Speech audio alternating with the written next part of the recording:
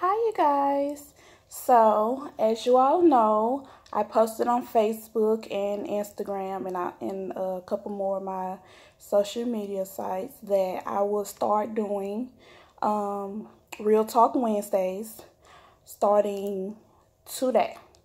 So, um, Real Talk Wednesdays are basically um, video uploads of me basically talking about real life experiences like um, a lot of things. I know a lot of YouTubers don't necessarily um, upload videos like this talking about real life. They want to show you the um no, I wouldn't say fake. They show you um it's their real life, but they show you only portions of it, the stuff that looks good.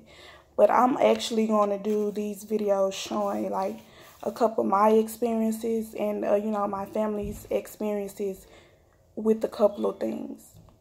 Like today's video is going to be about my experience with having um, a C-section. Well, I actually had have had three C-sections. I had to have a C-section with all three of my kids. Um, when this, my first C-section came about, okay, I um, when I had my first C-section, I was 17. I was 17. I was pregnant with my oldest son. Um, I had been having contractions. Now, to me, they felt like they was horrible. When I say horrible, they was horrible. I felt them at the bottom of my stomach and my back where you, you know you would normally feel contractions. Um, um, my friend Lex was with me at the time and she was timing them. They was like two to five minutes apart. So I eventually had to go to um, the hospital. Once I got to the hospital, they was monitoring me and once I got there, the contractions had stopped. So they was you know wanted to monitor me a little bit more to see if they um if they started back or you know pretty much watch the baby and everything. So it came. I think I was there at least thirty to forty five minutes, and they kept coming in there because uh, to move the, the, you know, when you're pregnant and they monitor the baby at the hospital, they put these monitors on you to, uh, to pretty much, you know, monitor your contractions. And the other one is to monitor the baby's heartbeat. The one that was monitoring my son's heartbeat, it was not picking up his heartbeat at all. So they was turning me and they was moving the monitor across my stomach and everything trying to find his heartbeat. Now it was a period of time to where they could not find his heartbeat, which scared the living bleep out of me. Okay. I'm 17. Um I was only it was just it was me and my daddy there. You know, my daddy was the you know person there that was, you know, had to sign the papers and everything because I at the time I was a minor. So the doctors came in after the nurses had continued to, you know, try to pick up on my son's heartbeat. And after a while, they was like, they end up, um, the doctor ended up coming in the room and he wanted to speak with me and my dad. Because, you know, you if you're a minor, then you have to have a parental uh, uh, somebody, a parent or somebody, a guardian or something in the room with you. So the man, um, no, was it a man? Yes, it was a man. I had a woman doctor, but I don't know what happened to where the man doctor at the doctor's office that I went to ended up delivering my baby. Um, he came in the room and he was like, "Well, we cannot pick up on your uh, the baby's heartbeat, so we want to do an emergency C-section." Now, y'all, I was so scared. Like literally, I was so scared. Like I wanted to cry and everything. But you know, of course, my daddy is like one of these positive people. So he was making sure, you know, he was telling me everything was going to be okay and everything. He was making sure that, you know, he was going to be there. So um, after the doctors left out, they started prepping me. Um, putting, they had to have this little cap on and this little, little thing on your feet and everything. They gave my dad the little thing to put on so that he could be in the room with me when I had my C-section. Um, we had to sign. I had to sign paperwork. My daddy had to sign paperwork. So when it came time for them to take me to the back, they took me to the back first because you know they had to prep me. They had to do the anesthesia, uh, the epidural, spinal epidural, or whatever it's called. Um, they had to do that first before they could let my um, daddy in the room. So after they had did that, like y'all, literally, my dad was not in the room yet, and these people was already. the people, the doctors was already trying to cut me open. I told them, I was like, first of all, stop. You're not finna cut me open until, you know, my daddy is in the room. I don't feel I don't feel comfortable with neither one of y'all. Yes, me and, and my son life is in y'all hands right now. Other than God. I was like, y'all not cutting me until, you know, my daddy comes in the room. My daddy was still in the hallway, so they had to rush to go get my daddy so that he could come in the room. Um, my dad was trying to record, but he couldn't. They told him that he, he wasn't allowed to record. That he was only allowed to record like me or um and the baby. So once he got in there, they started cutting and everything. I think it took them a little minute, you know, they because they gotta let's be honest, they gotta cut you open and everything. Um, they cut me open and everything, and then my son came. Y'all, my son had so much hair, like hair on his head. My son, he let's be honest, he still lives hair, okay? He had hair on his neck and his back and everything. My dad got to um take pictures and do a video and everything um, my son was, Fat Daddy was eight. I mean, not eight. Oh, Lord, no. He was seven pounds, two ounces when he was born. So, okay, you know, after he was born, they had to sew me up and everything. And I went to the, they took me and him to the recovery room along with my dad. Now, y'all, I was doped up, but you know, I still was able to hold my son and everything. Well, um, did I have? No. Um, my dad had to end up no, my sister ended up coming with me to the hospital. That's what it was. My sister ended up coming with me to the hospital, but because um I was a minor, my dad have to has had to be in the room with me. So my sister ended up going to the waiting room and everything. And my dad came in the room with me. So um, my dad had to end up leaving to go get, you know, the car seat and um, the diaper bag and my hospital bag and everything because we thought, I like, I kind of figured that I wasn't going to have him um, the same day when I was having the contractions. But, you know, by me having to have an emergency C-section, I ended up doing it. Having him. So my dad went home to get me in my oldest son stuff and my sister came in the room, you know. Yeah, I was so doped up, like pretty much no, my dad was the first person to hold him. First grandchild. My dad was the first person to hold him. And then once my dad left, somebody had, in order for me to be able to keep my son in the room, somebody had to be in there with me. So my sister ended up coming up from the um the waiting room up there and she stayed with me and everything, y'all the aftermath of a C of a C-section is no joke. Like the first day, I had to be in the bed all day because I had a um. The first day after a, a C-section, you have a catheter in, and that is like a little tube to where you don't have to. You don't go to the restroom. The the urine and the urine comes out of you through a tube. I know it's kind of TMI, but it's real. Um, I had a catheter in, so I had to stay in the bed for the first 24 hours. And I also had these little pressure things on my ankles to where it like every so often it will pump up and stuff. I guess it, I think they say it's for to keep blood clot, keep you from catching blood clots. So I had those in. But like I could not cough. In order for me to be able to cough, I had to like tightly hold a pillow over my incision.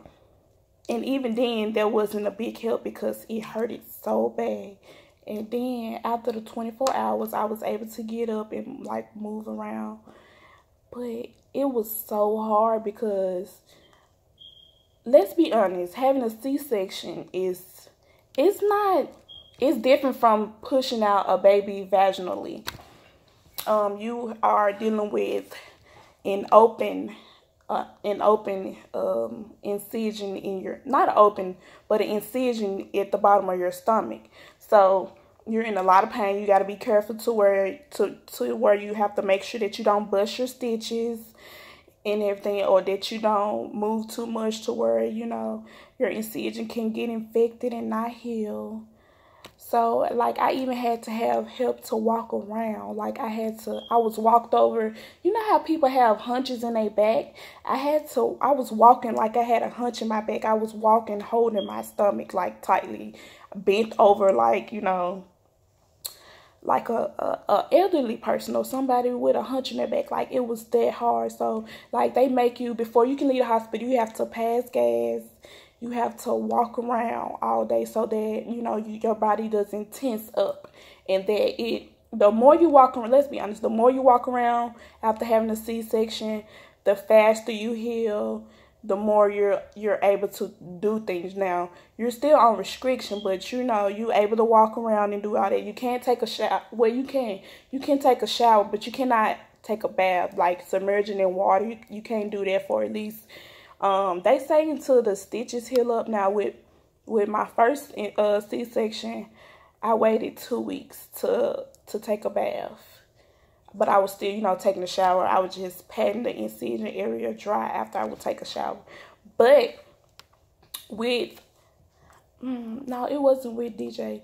With my last one with my baby girl, I had, I had, I actually waited the full eight weeks after my C-section to take a bath because although it, it was much better for me to deal with, being as though it was my third C-section, I don't know what I was doing. Oh, I know what happened two weeks after I had my baby, my husband, he's in the military, so he had to go to um, AT training. So he was gone for two weeks. So it was a two week period to where I was taking care. I wasn't taking care of him by myself, but I was at the same time.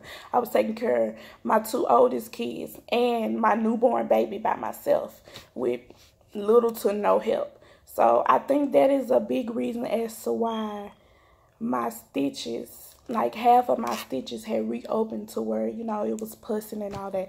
Now i will say i did not go to the doctor. I didn't. I just kept it clean and kept it cleaned and covered up. So to where it healed on its own. I wouldn't recommend that you do that but me being ashley and stubborn i did that. I just kept it clean and everything. A C, a lot of people say a C-section is it's the easy way out of having a baby? I really don't think so because you pretty much, yeah, everyone gets the epidural, but you're having you're dealing with an open, an open incision in, on your body, where like versus you know you actually pushing out a baby. You having to worry about infections. You having to worry about making sure that your incision doesn't reopen.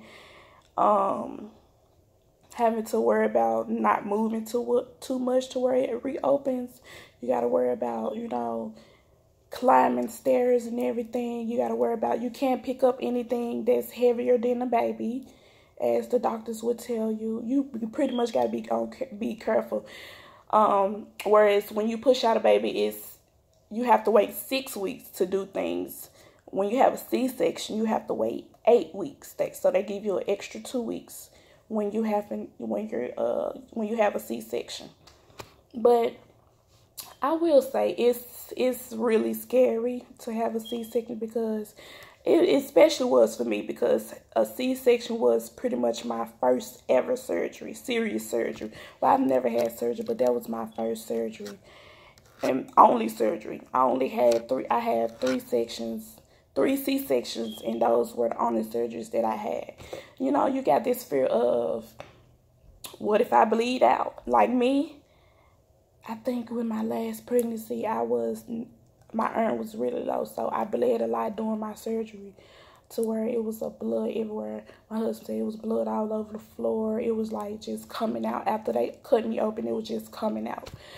Um, You got to worry about bleeding out. You got to worry about them cutting you wrong or a risk of them cutting your baby. Um, this with vaginal and a C-section, you have to worry about them pulling your baby out wrong. Like they can, you know, hurt a shoulder or something like that. Or you got to worry about them leaving something in you, like a tool or something like that. Something that they use during your surgery. You got to worry about them sewing you up wrong.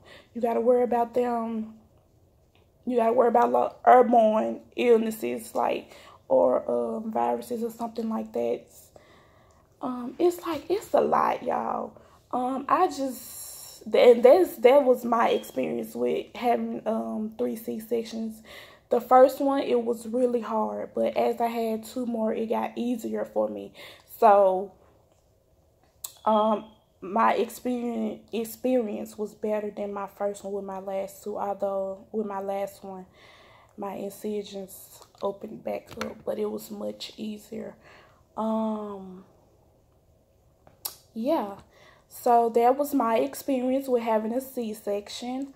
Um comment down below what other type of real talk wednesday videos you guys would like. All real you know real reality stuff that i will be talking about. You know i think my next video will be um how is how is it being a military spouse and mom? It's very hard. So comment down below. Share this video. Like um also subscribe to my channel and um, keep watching my videos. Keep supporting me. I thank you all so much for your support. Also, um, go check out some of our popular videos. The pop the the video that's the most popular popular on our channel is the um, pregnancy stimulator challenge. So y'all should go check that out. And I will see you guys next Wednesday for another Real Talk Wednesdays. Bye, you guys.